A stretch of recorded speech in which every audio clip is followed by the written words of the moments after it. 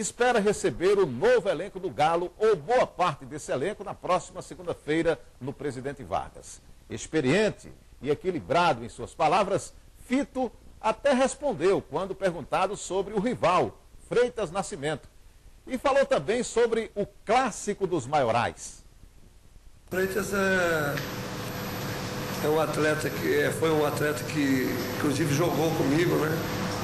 Ele jogou pouco tempo comigo, mas é um, é um profissional que, que tem buscado seu espaço dentro da sua atividade profissional.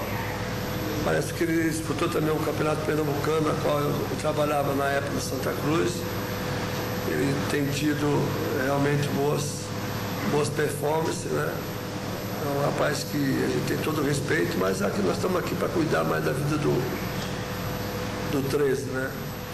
Procurar fazer o que o 13 pode fazer de melhor, respeitando todos os adversários, mas vai buscar os objetivos nas competições que for disputar.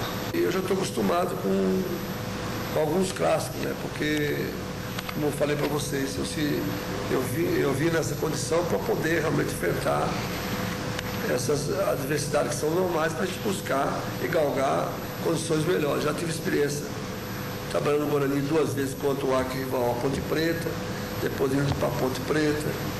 Ter trabalhado muito tempo no Vitória, depois indo para o Bahia trabalhar no Santa Cruz, ser campeão no Santa Cruz, depois ter que provar no esporte que eu não era tricolor, que eu ali era vermelho e preto, que eu tinha ganhado Santa Cruz.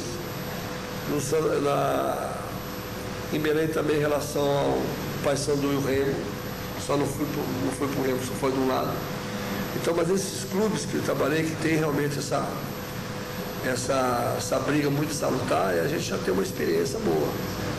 Então aqui vai ser mais uma na carreira da gente e nós vamos procurar fazer todo o possível.